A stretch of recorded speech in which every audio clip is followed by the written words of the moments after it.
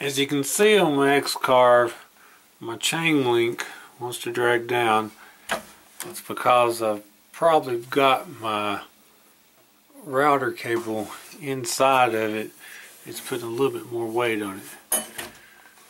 But I've noticed back here, it's going down from here.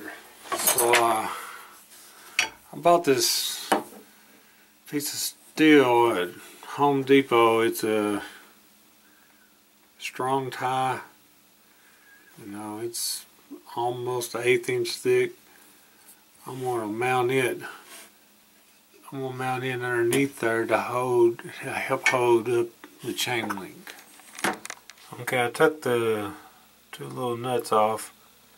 So I need to drill me two holes to match up the holes. Okay, I drill me two holes in it. So line up with the bolt hose there. Okay, you're gonna have to get you some little screws that's a little bit longer than what come in up here to compensate for that for the plate here.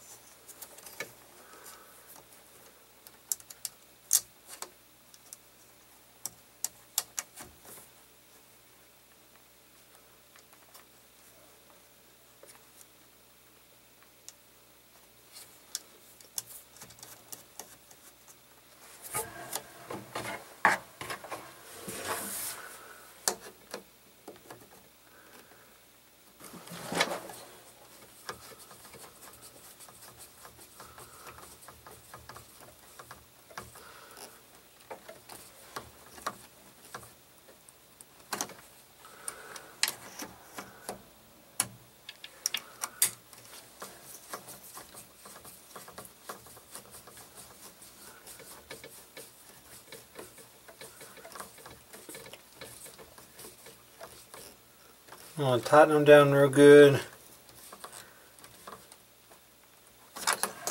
Don't Go nowhere. Okay, with this modification, you see the chain link is down up on clearing everything good now because I was getting real close to my clamps here.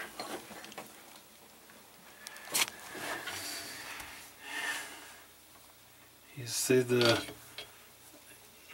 you see the way the bar it's holding up the chain links and everything.